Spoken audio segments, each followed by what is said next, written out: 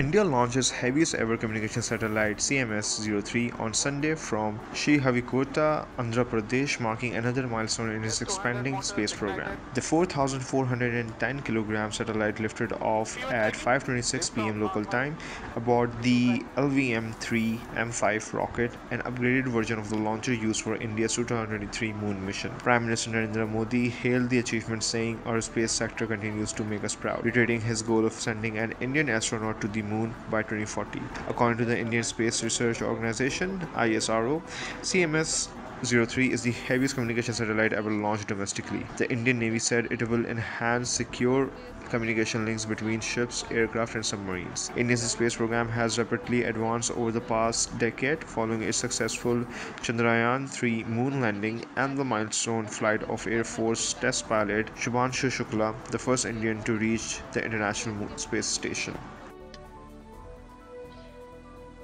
The thrusters of the satellite are fired using the propellant carried on board. At a precise effectiveness and longevity is quite a task in itself. Gravitational perturbations due to the celestial body CMS-03 satellite separated.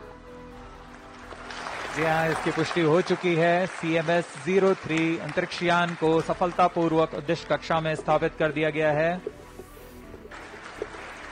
Mission director here. LVM-3 M5 launch vehicle has injected CMS-03 spacecraft to the intended orbit. Mission has been successfully accomplished.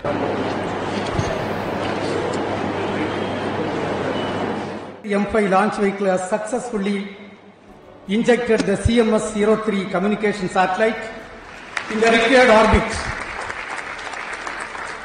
The satellite weighing 4,410 kg is precisely injected within the specification of the orbit. To announce that till to the CMS-03 is the heaviest satellite launched by the LVM-3 to the GTO orbit so far.